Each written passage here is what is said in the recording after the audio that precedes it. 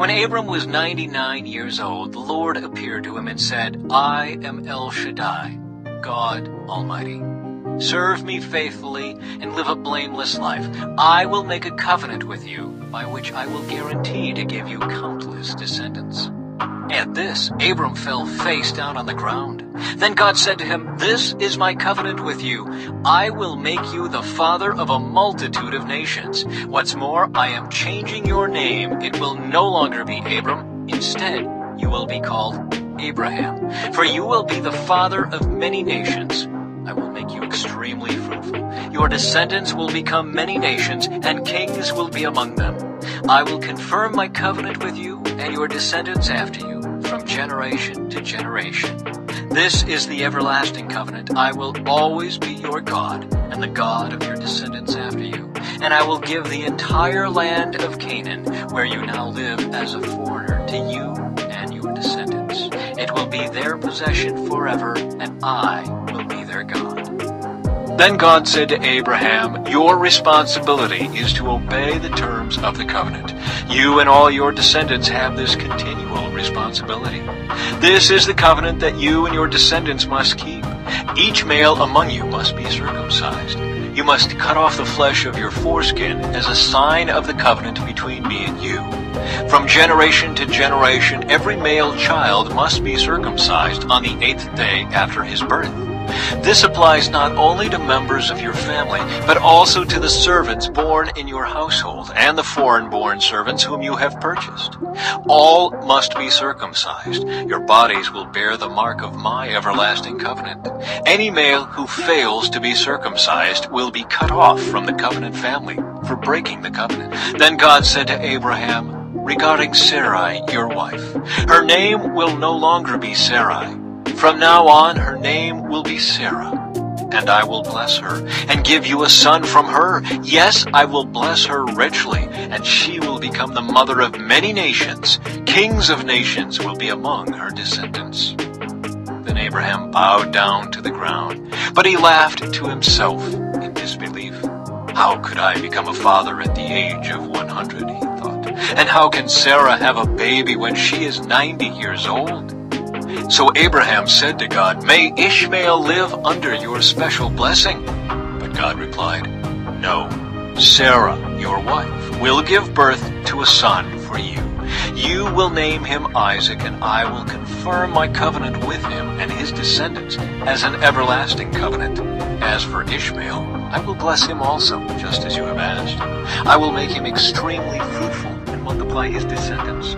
He will become the father of twelve princes, and I will make him a great nation.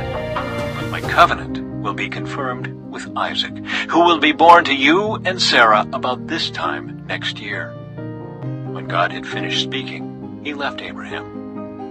On that very day, Abraham took his son Ishmael and every male in his household, including those born there and those he had bought.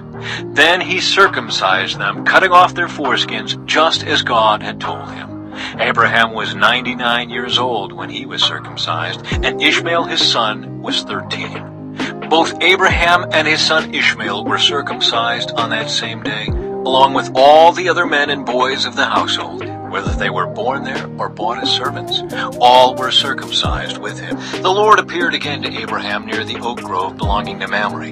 One day Abraham was sitting at the entrance to his tent during the hottest part of the day. He looked up and noticed three men standing nearby.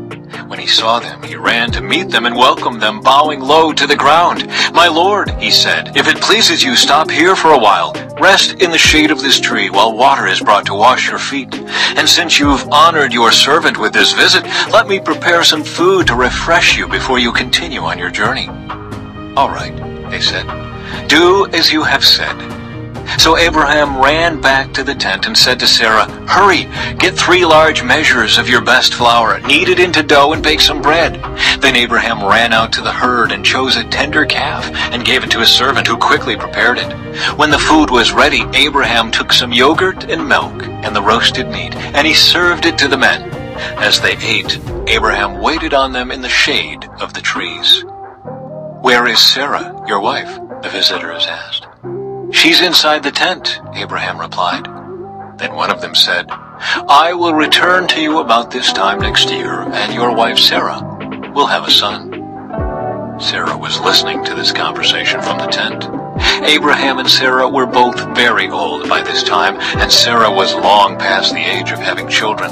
So she laughed silently to herself and said, How could a worn-out woman like me enjoy such pleasure, especially when my master, my husband, is also so old?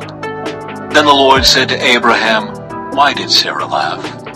Why did she say, Can an old woman like me have a baby? Is anything too hard for the Lord? I will return about this time next year, and Sarah will have a son. Sarah was afraid, so she denied it, saying, I didn't laugh. But the Lord said, No, you did laugh. Abraham intercedes for Sodom. Then the men got up from their meal and looked out toward Sodom. As they left, Abraham went with them to send them on their way. Should I hide my plan from Abraham? The Lord asked. For Abraham will certainly become a great and mighty nation, and all the nations of the earth will be blessed through him. I have singled him out so that he will direct his sons and their families to keep the way of the Lord by doing what is right and just. Then I will do for Abraham all that I have promised. So the Lord told Abraham, I have heard a great outcry from Sodom and Gomorrah, because their sin is so flagrant. I am going down to see if their actions are as wicked as I have heard. If not, I want to know. The other men turned and headed toward Sodom, but the Lord remained with Abraham. Abraham approached him and said, Will you sweep away both the righteous and the wicked? Suppose you find fifty righteous people living there in the city. Will you still sweep it away and not spare it for their sakes? Surely you wouldn't do such a thing, destroying the righteous along with the wicked. Why, you would be treating the righteous and the wicked exactly the same. Surely you wouldn't do that. Should not the judge of all the earth do what is right? And the Lord replied, If I find fifty righteous people in Sodom, I will spare the entire city for their sake. Then Abraham spoke again. Since I have begun, let me speak further to my Lord. Even though I am but dust and ashes, suppose there are only forty-five righteous people rather than fifty. Will you destroy the whole city for lack of five? And the Lord said, I will not destroy it if I find forty-five righteous people there. Then Abraham pressed his request further. Suppose there are only forty. And the Lord replied, I will not destroy it for the sake of the forty. Please don't be angry, my Lord, Abraham pleaded. Let me speak. Suppose only thirty righteous people are found. And the Lord replied, I will not destroy it if I find thirty. Then Abraham said, Since I have dared to speak to the Lord, let me continue. Suppose there are only twenty. And the Lord replied, Then I will not destroy it for the sake of the twenty. Finally, Abraham said, Lord, please don't be angry with me if I speak one more time. Suppose only ten are found there. And the Lord replied, Then I will not destroy it for the sake of the ten. When the Lord had finished his conversation with Abraham, he went on his way, and Abraham returned to his tent.